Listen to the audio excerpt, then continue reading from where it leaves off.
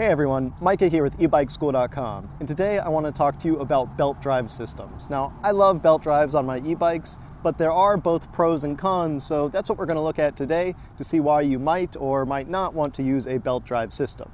Now I've got here my personal e-bike, this is a Priority Current, and it's running a Gates belt drive system.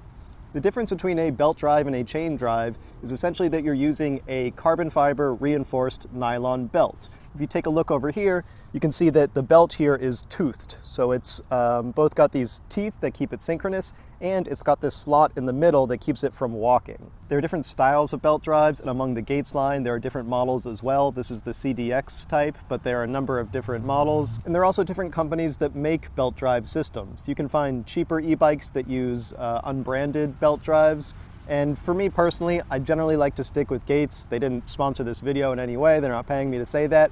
They're just, in my opinion, the top of the line when it comes to these belt drive systems. So now let's talk about the pros of these belt drives. The first thing that I love about these setups is that they are just so low maintenance. You don't need to do anything to them. Unlike a chain that you need to oil, you need to uh, keep it clean, you need to take care of it, occasionally you need to change it. Belt drives are basically bulletproof. There's nothing to oil. Really, the only time you need to clean them is if you get some like mud stuck in the teeth of them, if you've been off-roading or something. But even then, that mud's just gonna kind of fall out. But it's good to, to clean that stuff out if you do get them full of like mud and, and rocks and stuff. But otherwise, there's just really no maintenance that you need to do to these things. Also, because you can't use a derailleur with these setups, you're generally going to have a internally geared hub. Here I've got a Enviolo NuVinci continuously variable transmission but you could have you know a Nexus 3-speed, you can have a Rohloff, all sorts of different hubs, but basically that's going to reduce your maintenance load as well. Belt drives also last longer. Some belts can last up to 20,000 miles or 32,000 kilometers, which is crazy when you compare it to chains. I mean, these last can be three, four, five times as long as a chain because it's just not going to wear out in the same way. So when it comes to longevity and knowing that you're not going to go through a chain so quickly, belt drives, they're the, they're the top. One thing that I really like about belt drives for commuting purposes as well is that they're just cleaner. Because you don't need to oil them, you never worry about getting oil or grease on your pant leg or on your ankle. I mean, they're just super clean. You can rub your hand over them and it just stays perfectly clean. So they're just nicer, cleaner setups than a sort of rusty or oily chain that's going to stain your clothes. And of course, you're going to find that belt drive systems are a lot quieter. On this bike, it's got a really quiet motor, so I like that I don't hear the chain, I don't hear the gears, I don't hear a derailleur shifting. Everything's just nice and quiet, which for me, that's one of my favorite aspects of e-bikes is that they're just so quiet. When I'm riding, I don't hear anything. I barely hear a motor, and with the belt drive, I don't hear my chain or gears. So that's just a really nice feature for me when I'm choosing a bike with a belt drive setup. If you're not riding an e-bike, you'll probably appreciate that belt drives are lighter than chain drive systems, but for us on e-bikes, it doesn't really make that much of a difference. You know, when you're carrying around a, a six pound battery, saving 100 grams on a chain isn't gonna do much for you. But what you will notice is just how much simpler the system is. You know, there's nothing that you need to change out. There's nothing you need to tune. There's nothing you need to um, clean. There's nothing you need to maintain. It's just a simple belt going around in a circle, no other moving parts. It's just, I mean, the simplicity is, is kind of crazy. For people that are used to really having to work on your bike and keep it in tune, you're gonna love how easy it is to work with a belt drive because there's just there's nothing to tune. There's, it's just such a simple system. Now that being said, there are some disadvantages to belt drives. You know, it's not all rosy here. Uh, one of the main drawbacks is you just have fewer options for components, especially when you come to uh, drivetrain components like derailleurs. There are so many options. There's a lot fewer internally geared hubs. So all of your favorite derailleurs are out.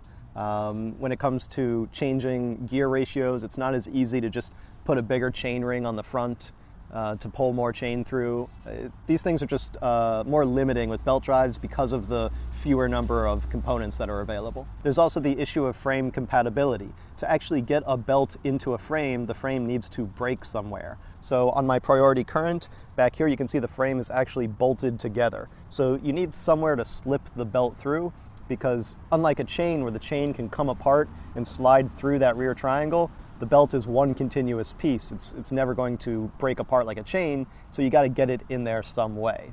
Uh, with full suspension bikes, sometimes you can get away with uh, removing the suspension and you can actually get into the rear triangle through the uh, rear suspension linkage, depending how it's designed.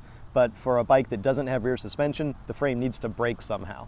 And speaking of full suspension bikes, there are a number of full suspension bikes that simply are not compatible with belt drives because the chainstay length changes as the suspension travels. And so a full suspension e-bike that uses a belt drive needs to account for that because there's no uh, tensioning going on like you'd have with the derailleur. That doesn't mean you can't have a full suspension belt drive bike, but it needs to be factored in in the design stage, which limits how many are available. And obviously there are a lot of electric motorcycles that use belt drive systems. Uh, the Zero SRF, the Harley Davidson Livewire, both of which I've personally tested, have both used Gates carbon belt drive systems. You know, it's the same belt I have here. I mean, not the same belt, it's different style, it's bigger, it's stronger, but it's the exact same company's belt, and obviously they have different solutions. Uh, the Zero SRF has the motor coaxially mounted with the um, swing arm so that the chainstay effectively never changes length. Uh, I forget how the Livewire does it, if, it, if it's also coaxially mounted, but uh, there are solutions to have rear suspension and belt drive setups. The last disadvantage is just the price. Belt drives are more expensive. This is really cool technology with a lot of advantages, but like we talked about in the beginning of this video, you have to pay for that technology, and it is more expensive than a you know 100 plus year old chain technology. So you're gonna you're gonna pay to play with with belt drives, that's for sure. All right, so there you have it. Those are my favorite pros and cons of belt drive systems. Which is right for you? Well, as always, that's a personal choice, but I hope that discussion helped you think about it a little more to decide if a belt drive system is up your alley. All right, thanks for watching, everybody. Last but not least, it's time to announce the winner of last week's book giveaway, and the randomly selected commenter is. Like wow.